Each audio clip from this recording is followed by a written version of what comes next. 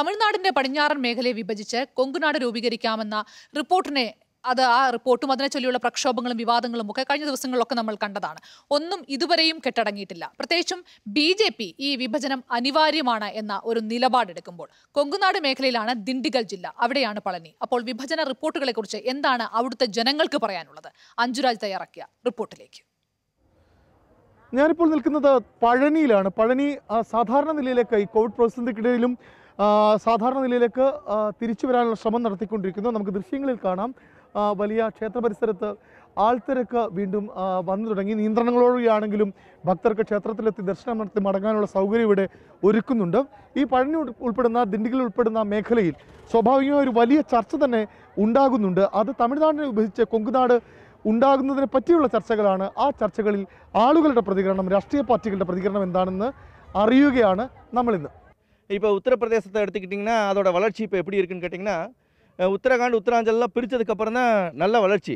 அது மாதிரி இந்த கொங்கு நாடு அப்படிங்கிறத தமிழ்நாட்டை ஒரு தொண்ணூறு சட்டமன்றத்தை பிரித்தா இந்த தமிழ்நாட்டோட வளர்ச்சி வந்து நல்லாயிருக்கும் உண்மையாண்மை ஒரு தமிழ்நாட்டோட வளர்ச்சி அப்படின்னு பார்த்தீங்கன்னா சென்னையை மட்டுமே மையப்படுத்தி இருக்குது. சென்னையில் ஒட்டுமொத்த நிதியும் ஒட்டுமொத்த எல்லாமே கவனமே சென்னை மட்டுமே மையப்படுத்தி அப்போ அந்த வளர்ச்சி சீராக அப்படின்னு அமையும்னு சொன்னால் கொங்கு நாடு மட்டுமில்லை பாண்டிய நாடுன்னு சேர்த்து ஒரு இந்தி தமிழ்நாட்டை வந்து மூணாக பிரித்தா சரியாக இருக்கும்னு என்னோட தனிப்பட்ட கருத்து. கொங்குநாடு வேணாம். ஆ? வேணாம். வேணாம். ஏ?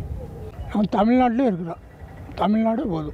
இன்றைக்கி ஒவ்வொரு நாடாக வந்து பிரிச்சுக்கிட்டு இருந்தாக்க அது நாளைக்கு தெ தெற்கு நாடு செட்டி அப்படின்னு சொல்லி ஒரு இது நாடு பிரிக்க வேண்டியது வரும். எங்களுக்கு தெரிஞ்சதெல்லாம் தமிழ்நாடு தமிழ் மக்கள். அதுதான். வேற எதுவும் எங்களுக்கு தெரியாது.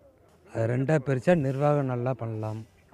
Split should not happen in India இப்போ தமிழ்நாடு டிவைட் ஆச்சு நம்ம தெலுங்கானா ஆந்திரா மாதிரியே பிரச்சனை ஆகிடும் அவங்க அவங்க பிரச்சனை பண்ணிக்குவாங்க. ஏதோ பிரச்சனை. இங்கே அப்படி தான். பிரச்சனை ஆச்சுன்னா டோட்டல் இந்தியாவுக்கு தானே எஃபெக்ட் இருக்குது டோட்டல் எல்லா இடத்துக்கும் இந்தியாவுக்கு தான் எஃபெக்ட் ஆகும் ஏன்னா டெவலப்மெண்ட் ரொம்ப கம்மியாகிடும் தமிழர் மொத்தமாக தமிழர் தானே.